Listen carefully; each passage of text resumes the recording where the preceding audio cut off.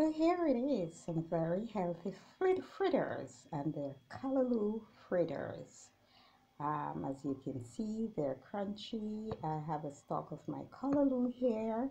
So wherever you are, um, feel free to what you to, to use whatever greens you can find, whether it is pumpkin leaves, sukuma wiki if you're in Africa.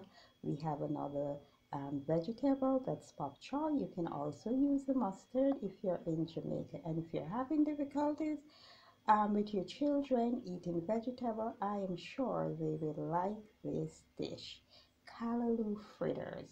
This is Sharon from Everything Beautiful and I hope you'll be inspired to try these very, very tasty callaloo fritters. At least you're getting some of your vegetables. These fritters are just not flour, you're getting in your vegetables. So be inspired. Thank you for watching. This is Sharon from Everything Beautiful. Please remember to like, share, and, and uh, subscribe.